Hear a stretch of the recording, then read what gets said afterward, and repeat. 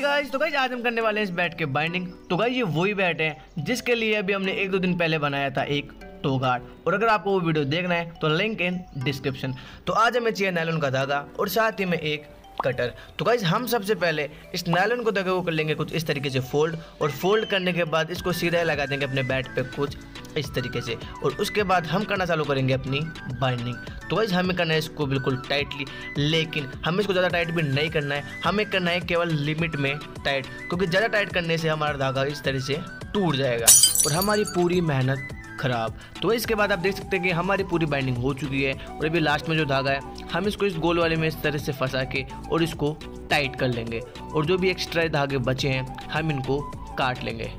तो गाइज़ हमारी बाइंडिंग हो चुकी है रेडी और अब हम लेने वाले हैं राइसिन और हार्डनर और इसको कर लेते हैं हम अच्छी तरह से मिक्स